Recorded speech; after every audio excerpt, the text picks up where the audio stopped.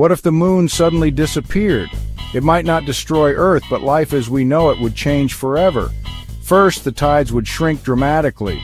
The moon's gravity pulls the ocean, and without it, only the sun would cause weak tides, disrupting marine life. Next, Earth's tilt would become unstable. Right now, the moon keeps our tilt steady. Without it, Earth could wobble wildly, triggering extreme climate shifts. And over millions of years, Earth would spin faster. The moon slows our rotation, so without it, our days could become shorter than 24 hours. Nights would be much darker too. No more moonlight, just pitch black skies except for the stars and city lights. Many animals rely on moonlight and lunar cycles. Without the moon, their behaviors would be thrown into chaos and say goodbye to solar and lunar eclipses. Forever.